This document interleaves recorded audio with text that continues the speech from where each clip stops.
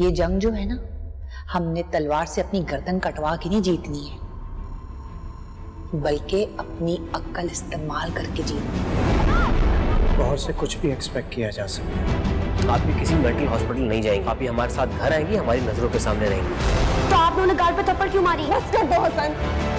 तो अमर की ज़िंदगी खतरे में नहीं डाल सकता। अच्छा किया बहुत अच्छा किया तुमने।